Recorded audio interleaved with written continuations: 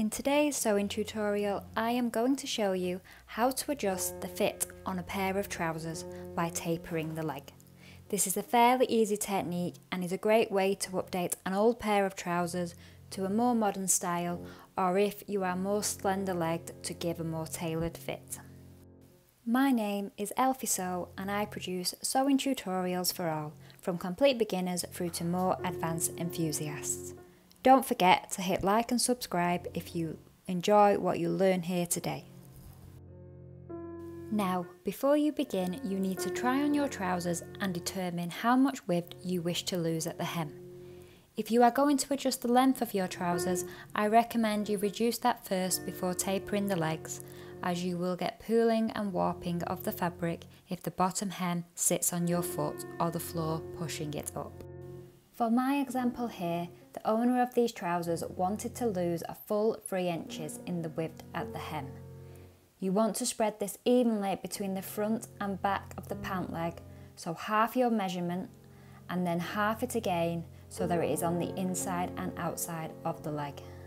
The marks I've made here are an example of how it will reduce, but we will need to measure from the seams, not the centre of the leg. Place your trousers on a flat surface inside out.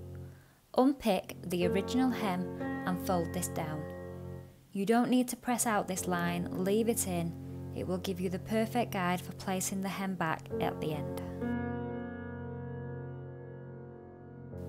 On trousers, there is more fabric in the back of the pant leg than the front. You'll find it's not an even distribution and that's how it should be but it will mean your trousers don't lay flat nicely to do this adjustment. Take pins and work on one side at a time and pin the edge flat.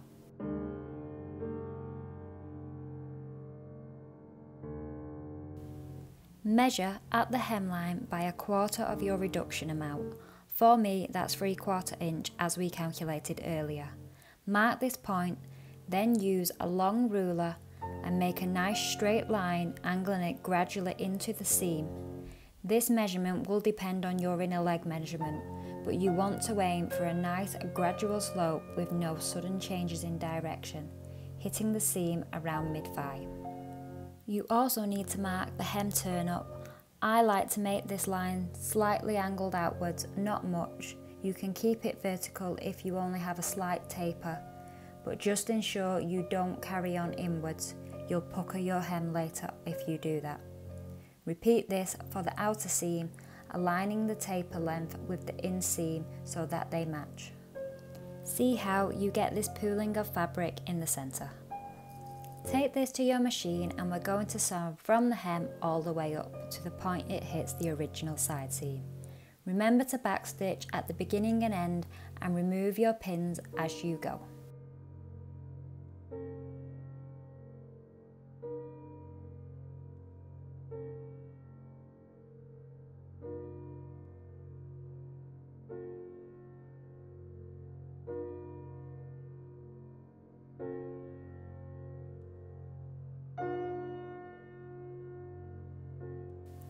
Once done, use your seam ripper to undo the original side seams up to where it meets the new.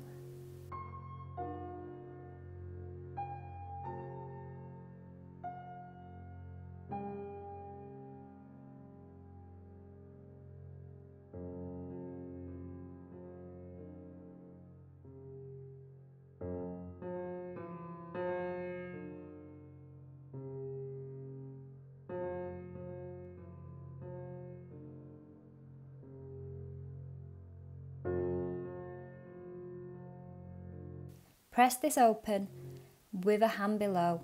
If you don't have a ham, a rolled up towel will work the same. Try it on at this stage and see how they look and feel. Make any adjustments you need before going on to the next steps.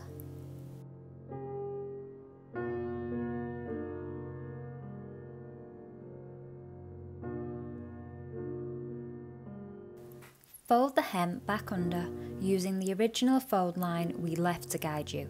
If you need to alter the length then you can do so now and use an invisible herringbone stitch to secure it so that you have no visible marks on the outside of the trousers.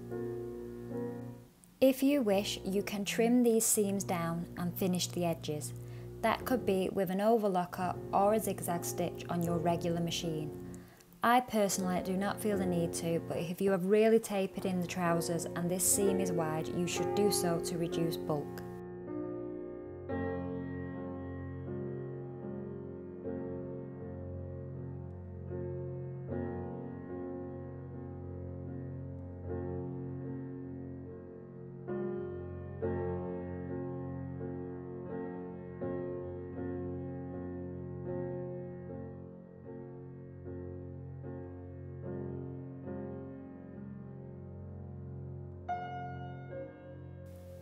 Repeat for both legs and you're done. You have a more tapered fit to update your wardrobe without any expense.